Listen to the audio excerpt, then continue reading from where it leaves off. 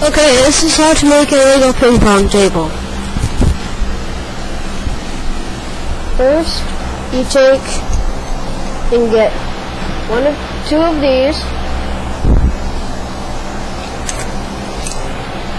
two of these. It's like a net brick.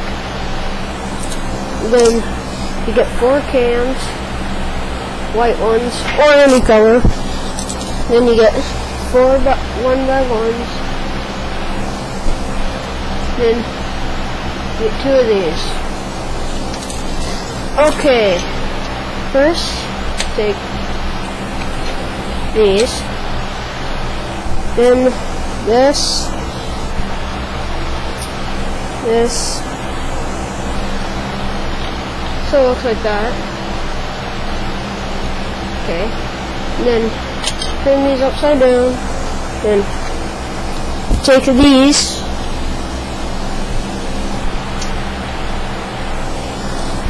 and that one. Okay. And then take four cans, put them on, like that.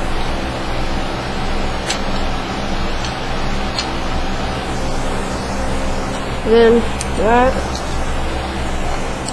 and that. Okay. You take your one by ones, put them on there like that.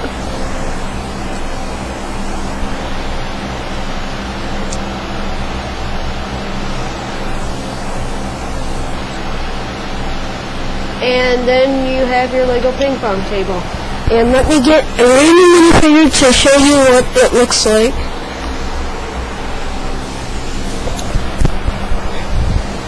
That's what it looks like compared to a minifigure.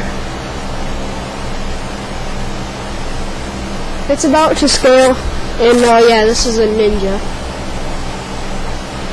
And uh, yeah, if uh, I don't to use paddles for it, you just get like one of the cans and put it in your hand. That's what I usually do. And uh,